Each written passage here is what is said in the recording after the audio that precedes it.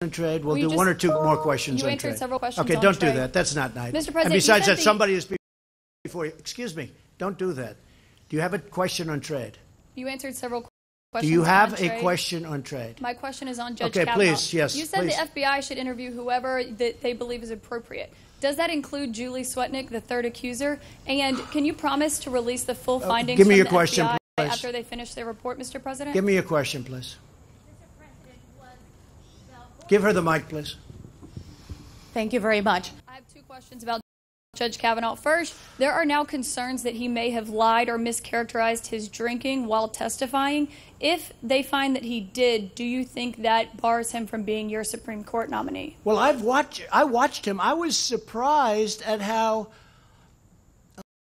uh, vocal he was about the fact that he likes beer, and he's had a little bit of difficulty. I mean, he talked about things that happened when he drank. I mean, this is not a man that said that alcohol was that he was perfect with respect to alcohol. No, I thought he was actually going back so many years, I thought he was uh, excellent. The interesting thing is, though, nobody asked him about what's happened in the last 25, 30 years during his professional career because there were no bad reports.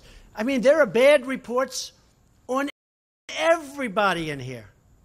Most of the people sitting down there, bad, except for Mike Pence, by the way.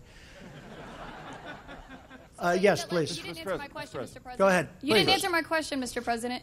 Uh, so if he did lie about his drinking, does that mean you'll pull his? I don't think he did. Okay. I uh, look. Here's here's what. I'm just saying. I'm not a drinker. I can honestly say I never had a beer in my life. Okay, Right. it's one of my only good traits. I don't drink. Whenever they're looking for something good, I say I never had a glass of alcohol. I've never had alcohol. I've just you know for whatever reason. Can you imagine if I had what a mess I'd be? Would I be the I'd be the world's worst. But I never drank.